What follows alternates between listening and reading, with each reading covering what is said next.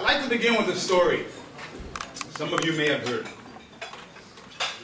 In Soviet Russia, it is forbidden for a Jew to have a bris, ritual circumcision, performed on a newborn son.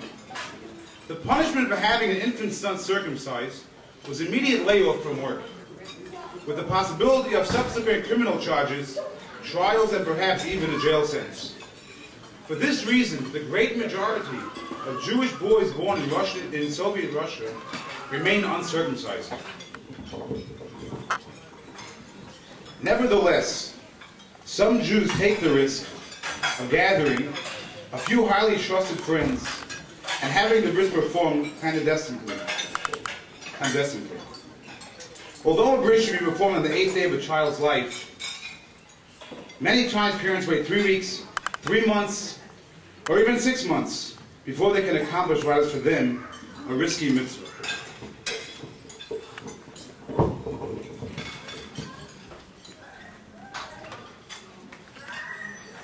For the first few weeks after the birth of a son, parents could almost feel the presence of the authorities, and no hint of the bris can even be mentioned.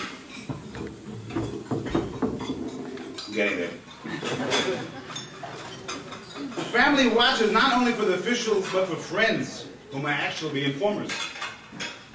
In one particular town, there was the trusted minyan of people whom the Schneider family wished to invite to their son's bris. They were discreet, dependable, and responsible people. They would never betray a family, and no police authority could get any information from them. Often it was one of these men who advised the family when it was safe to have a bris. The Schneider boy was almost a year old, and he had not yet been circumcised. Suddenly, the atmosphere became a bit less tense, and Mr. Schneider was informed that it was safe to have the bris. The mohel was called, the guests gathered in the basement, and the child was brought there to have his bris. The bris was performed, the proper blessings were recited, and everyone wished each other mazel tov. The child was then brought back to the room where his mother was waiting for him. Suddenly, there was a piercing scream, a wail, and a cry. There was a, there was a thud, as though, as, as though someone had fallen to the floor. Pandemonium broke out as people ran to the room where the mother lay in a dead faint. After they revived her, she told over an incredible story. The young mother feared that her son might never have a bris, that she would be lulled into negligence because of a fear of the authorities, that she may capitulate to fear and not have the bris at all. She was determined not to let that happen to herself, and she undertook something that would compel her to long for the bris to make it paramount in her mind at all times. She vowed not to kiss her son until he had had his bris. For close to a year, she suffered the pent-up emotions that only a mother can feel. Finally, after the bris, she had taken her son into her aching arms and kissed him fervently. Overcome with emotion, she had fainted. This love of performing mitzvos can be seen today too. Did you ever witness someone who never experienced a Shabbos in their life, lighting Shabbos candles for the very first time, as tears well up in their eyes, as they do what their great-grandmothers and their mothers before them have done in years gone by, or to see the glow on the faces of children at the Shabbos table at a Shabbaton? Or how about a young man born in Russia, raised on a steady diet of communist propaganda, purchasing a pair of tefillin and putting them on every morning? How can we motivate ourselves and our fellow Jews to do mitzvos and come closer to Hashem? Why does it feel peculiar at times to observe some of the mitzvos? The Torah tells us that Moshe Rabbeinu, Moses our teacher, died in the desert, in the desert, and did not, and did not merit entering the land of Israel. The Medrash explains that Moshe ran away from Egypt after killing an Egyptian who was attacking a Jew. Moshe traveled to Midian, the country of his future wife. Moshe goes to the well and sees the town shepherds tormenting the, the local girls and throwing them into the well. Moshe comes to their rescue and helps them. They go, they go home and they tell their father Yisro that an Egyptian saved us from the hands of the shepherds. Because Moshe remained silent and didn't correct them by saying, I'm an Ivri, a Hebrew, in other words, a Jew, he lost his merit to enter the land of Israel. Perhaps one can ask, why was Moshe at fault? He was in a land where no one practiced Judaism. As a matter of fact, there weren't, there weren't even any Jews living there. He was afraid to reveal his true identity. He was in, he was in an unknown land. Why was such a harsh punishment warranted?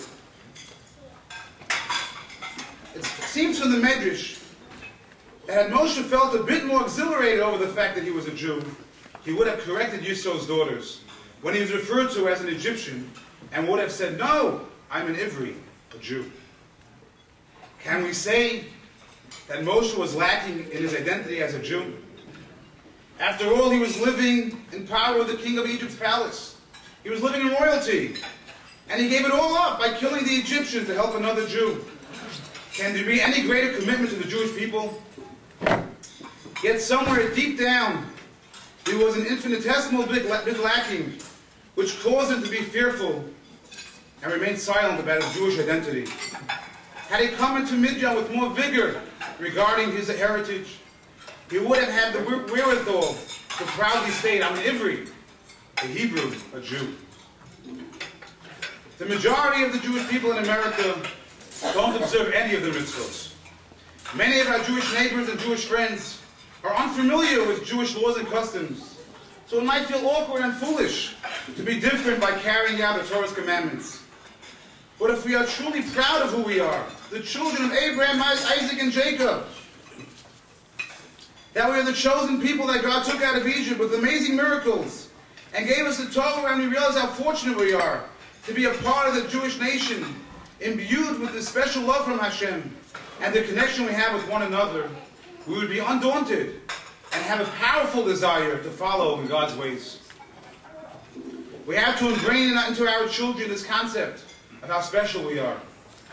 When the Jewish holidays come around, we have to tell our children the true meaning, how each holiday isn't just a vacation from school. It's not just as, as the saying goes, they tried to kill us, we won, let's eat. But it's to remind us of Hashem's love for us.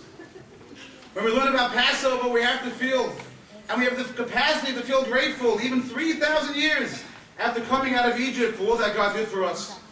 All the miracles that were done in Egypt and by, by the splitting of the sea demonstrate to us how Hashem manipulates the world and watches over us with his divine, with his divine guidance. Last Hanukkah, the Jewish exponent called and said that they were writing an article about Hanukkah and that they would like for me to tell them what we do for Hanukkah. I said that we tell our children that during the time of Hanukkah, the Syrian Greeks would not allow our people to fulfill the mitzvot or to study Torah. And a battle ensued, and miraculously, the Jewish people won the war. If the Jewish people would have agreed not to study Torah and not to do mitzvot, the Greeks wouldn't have harmed us. On Hanukkah, we were fighting for our spiritual survival. So we have to glean from the story of Hanukkah how precious mitzvahs are, how much more effort we need to put into Torah study. I'm not sure why, but I didn't see it in the paper the following week. If we teach our children about Hashem and the Torah, the book that contains the formula for happiness, we will find direction and purpose and meaning in our lives that will be most fulfilling. If a person only focuses on materialism, then when he doesn't reach his goal, they'll fall into a state of misery and grief. And in truth, there is no goal, for one is never satisfied. Our children here is constantly telling them to do well in school, to get into the best college, to get the best job, to make the most money, to be able to buy everything and go on the best vacations. Is there any question why teenage depression is on the rise? They don't see any purpose in life if it's all just to become rich and die. But if we bring the Torah into our homes and show them how to see Hashem's hand guiding us, they'll feel purpose and meaning which brings happiness and satisfaction which lasts forever.